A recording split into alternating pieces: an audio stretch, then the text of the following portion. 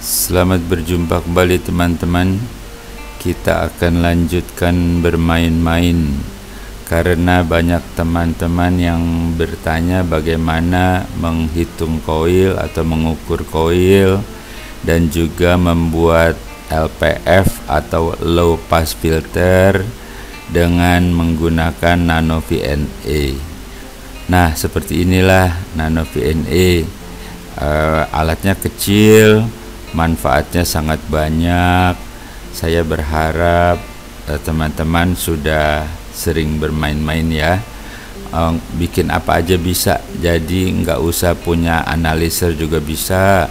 Bisa mengukur SWR bisa matching kabel bisa juga uh, ngukur koil resistansi kapasitansi dan pokoknya masih banyak lagi deh.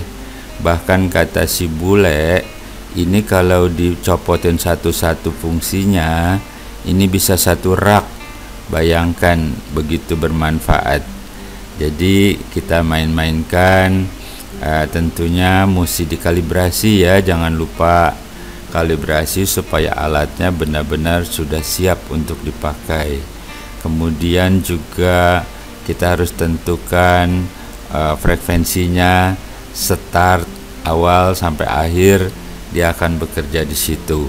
Nah, kalibrasi kan dikasih ya, ada yang short, ada yang true, ada jumpernya juga. Saya harap teman-teman sudah bisa ya. Jadi kita nggak usah menjelaskan sampai rinci-rinci semua fungsi. Hari ini kita terutama untuk mengukur koil, dan juga untuk membuat low pass filter pakai nano VNA saya sih udah sering buat tetapi kan belum pernah diperagakan sampai di sini gitu ya. Nanti kita akan peragakan pakai nano VNA koilnya sampai kita buat low pass filternya juga. Lalu kita cek nanti pakai rig pakai transceiver ya pakai transceiver. Hari ini saya pengen mau buatnya yang untuk 27 27 atau 11 meter. Nanti selanjutnya apa mau 11 apa 10 apa 12 apa 15 apa 21 gampang pokoknya asal udah paham ya. Oke kita akan mulai nih uh, kita akan ambil koil. Ada empat buah nih saya ambil contoh ya sembarang aja nih bukan banyak nih saya. Asal-asal aja digulung ya digulung. Nggak usah banyak pusing-pusing. Kagak usah terlalu banyak ngitung-ngitung. Nanti puyeng gitu ya. Yang penting udah ada alatnya. Kita tinggal menggunakannya. Ini kita ada koil. Saya lilit sekian lilit tuh nggak pakai dihitung. Nanti saya akan ukur ya. Dikasih C. C nya itu 40 PF itu harus ditentukan 40 PF atau teman-teman berapalah apa 50 apa 100 kita akan lihat resonansinya di berapa gitu ya. Nah tentukan dulu uh, kita mau di frekuensinya dari berapa sampai berapa nih. Di HF ya tentunya ya. Ini bukan VHF atau UHF uh, ini 120 ketinggian startnya ya startnya coba kita turunin lagi. Ya ini kan touchscreen touchscreen kita start berapa nih 17 oke ya start dari 17 megacycle ya. 17 sampai berapa? Coba deh. Sampai 50 gimana sampai 50 nah kita setting lagi range-nya dari 17 sampai 50 kali cukup ya. Jelas nggak sih ini e, kameranya nih aduh sambil ngomong sambil megangin kamera ribet. Nah itu sudah terlihat tuh koilnya. Koilnya bisa dilihat teman-teman geser kursornya. Yang putih itu frekuensi yang hijau itu SWR yang kuning itu impedansi tuh yang putih tuh nah yang putih berhenti. Yang putih terbaca berapa? 30,2 ya kelihatan nggak sih? 30,2 itu SWR nya 1 banding 1,01 yang hijau. Yang hijau. Jadi kita gulung sembarang koil. Ternyata di frekuensi 30 oke diperhatikan lagi ya itu yang putih itu frekuensi yang hijau itu adalah SWR impedansinya ada juga. Uh, yang kuning kalau nggak salah ini. Ini kan supaya cepet ya. Kita ganti koilnya sekarang koil nomor 2 kalau matchingnya di 30 berarti teman-teman udah bisa ngitung kan? Berarti berapa mikrohenry gitu ya yang datang pada waktu di uh, pasar minggu ah itu pasti tahu deh. Kita kan ngobrol-ngobrol ya. Nah sekarang kita ganti dengan L2 L2 jadi di digulung sembarang aja. Nggak usah pusing-pusing. Nah L2 kita lihat. Waduh solderannya belum nempel nih. Soalnya ngebut nih. Kalau nggak ngebut nanti kepanjangan videonya. Nah L2 kita sudah pasang coba kita geser kursornya pada uh, lembah yang paling curam. Itu terbaca berapa? 30 waduh kecil ya. Ini kecil banget nih. 31,19 kebayang nggak sih itu teman-teman? Alat cuman sebesar telapak tangan tapi bisa ngapain aja gitu ya. 31,19 uh, yang hijaunya itu SWR nya nyender. Oke kita ganti lagi biar ngebut gitu ya. L nomor 3 tadi saya udah ancang-ancang saya pengen main bukan main sih pengen buat untuk 27 nih untuk 11 meter. Kan biasanya 11 ke 10 itu juga dekat ya coba kita pasang L3 kayaknya kalau gulungannya segini nih diameter 7 14 lilit kayaknya di 27 deh. Coba aja kita lihat ya apakah dia bisa masuk di 27 kah? Coba kita lihat. Kita lihat pada kursornya kita geser. Kursornya kita geser. Range-nya tadi ya 17 sampai 50 nah pada titik putih itu terbaca ya 27,01 ya 27,01 betul kan? Dapat ya? Berarti coil itu untuk 27 gitu. Kalau besarnya kawat kan udah tahu ya kalau teman-teman powernya mau digedein kawatnya harus dibesarin. Gitu. Nah berapa ampernya udah udah bisa ngitungnya kan pada waktu di pasar minggu ayo siapa yang datang ke pasar minggu? Kita ngobrol-ngobrol kan. Nah itu di 27 ya. Hijaunya itu satu banding 1,02 apa ya? Matching banget tuh. 51 ohm. Ya lanjutkan lagi. Satu lagi deh 4 coil ya. Supaya teman-teman yakin nih. Jadi nggak punya analyzer juga nggak apa-apa asal punya nano. Biasanya nano buat ngukur antena 2 meter buat matching kabel bikin jumper gitu-gituan. Itu asik banget deh pakai gituan. Gitu ya. Nah sekarang coba L yang keempat ini. Saya gulung agak panjang nih. Agak panjang. Coba kita lihat matchingnya di berapa teman-teman bisa hitung ya kalau tadi matching di 27 berarti berapa mikrohenry ya? Itu udah tahu ya. Nah kita lihat sekarang yang agak panjang pasti frekuensinya turun deh. Coba kita lihat pada lembah yang curam itu. Op sampai situ. Kita lihat. Ya ternyata 22 22,61 kalau ditambahin dikit lagi jatuh di 21 tuh di 15 meter. 22,61 kebayang ya? Nanti di frekuensi yang teman-teman mau kalau frekuensi ketinggian tinggal diperpanjang. Kalau frekuensi kepanjangan tinggal dipendekin gitu ya. Nah ini jadi kita sudah mengukur mengukur nanti sesudah itu kita mau siap-siap karena kita akan buat low pass filternya. Kalau gambarnya skemanya itu udah ada ya. Kita sudah ada waktu di uh, YouTube yang lalu-lalu tuh. Ya itu sama. Waktu di pasar minggu apalagi tuh? Itu sangat jelas banget deh. Uh, pasti udah pada siap nah kayak gini nih jadi udah ngegulung ngegulung C nya disiapkan gitu ya. Nah tinggal nanti powernya mau berapa itu kawatnya digedein aja. Gitu kalau powernya cuman 100 200 ya nggak usah gede-gede. Kan bisa dihitung berapa ampere yang liwat ya. Kalau untuk 500 watt berapa ampere bisa hitung? Ayo hitung sendirilah gitu ya. Nah kita uh, mau siap-siap nih kita akan buat uh, sekarang dijadiin low pass filter.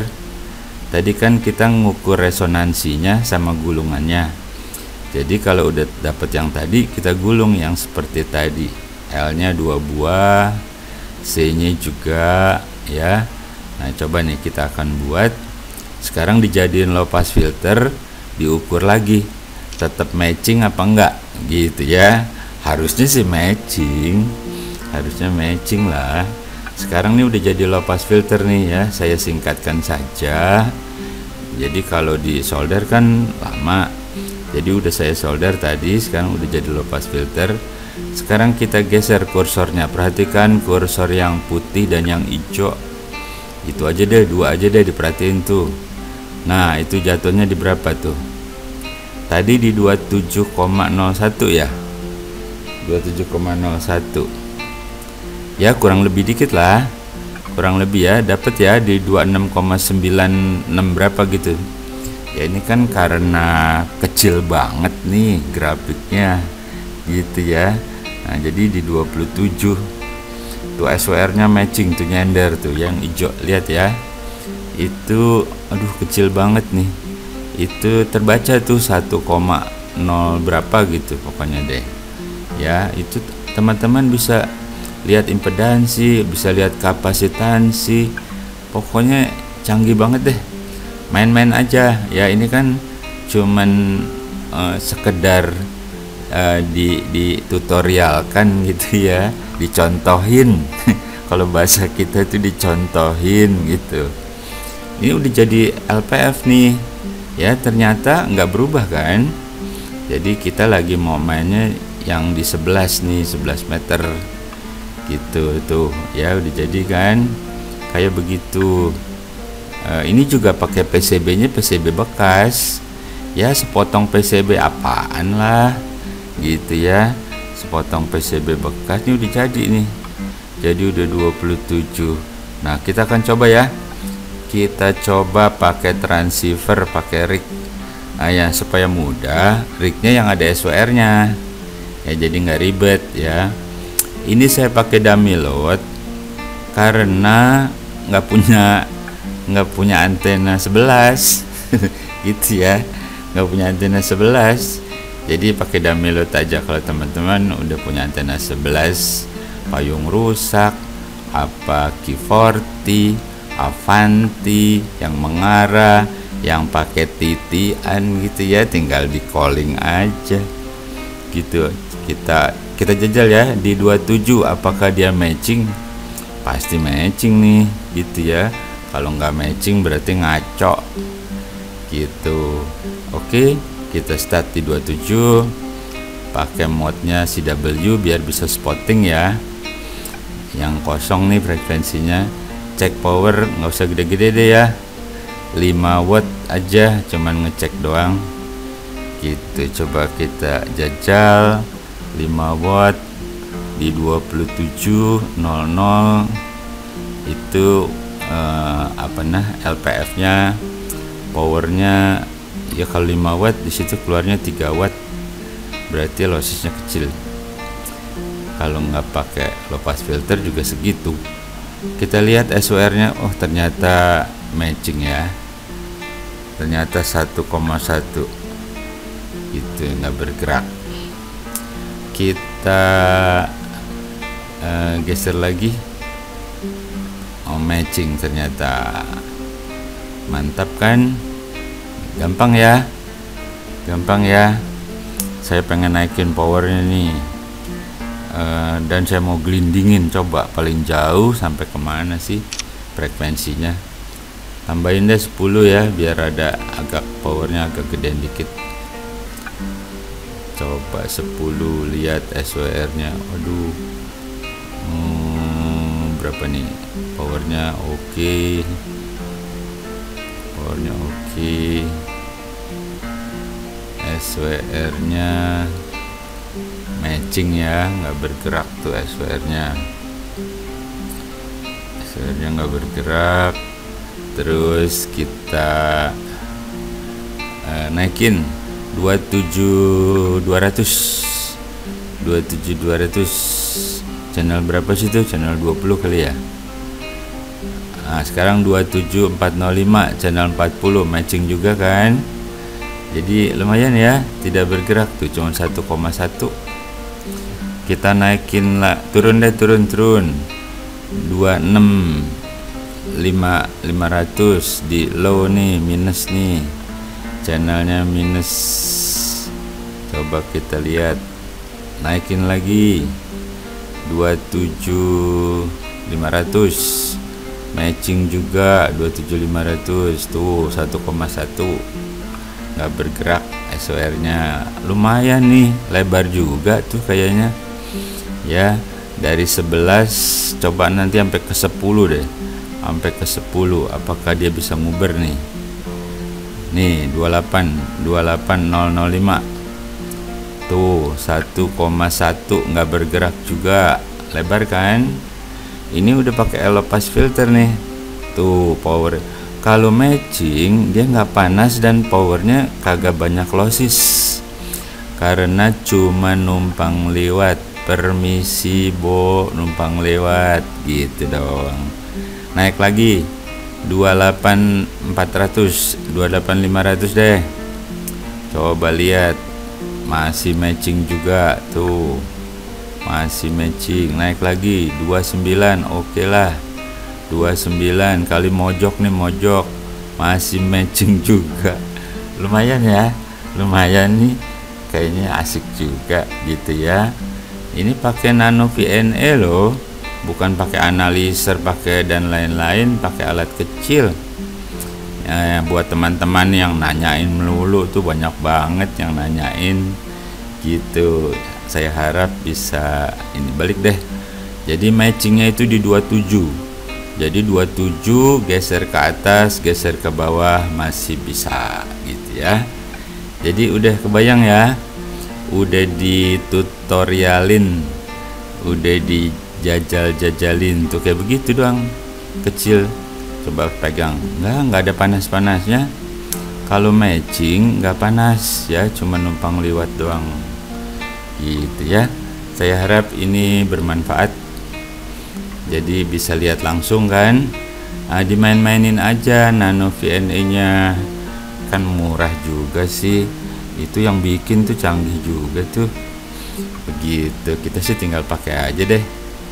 Ya teman-teman uh, sudah dicoba uh, coba juga.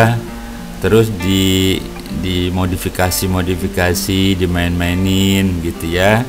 Sampai bener-bener uh, gape bener-bener paham gitu. Bener-bener uh, menguasai ya teman-teman uh, terima kasih sudah nonton udah nonton video sederhana. Mudah-mudahan manfaat ya. Mudah-mudahan bermanfaat. Kalau yang udah pinter mah nggak usah. Ini mah bikin LPF pakai cara bodoh gitu ya. Yang penting kan hasilnya gitu. Nyontek juga nggak apa-apa baik teman-teman. Eh, nanti kita jumpa lagi acara yang lain. Terima kasih. Sampai jumpa.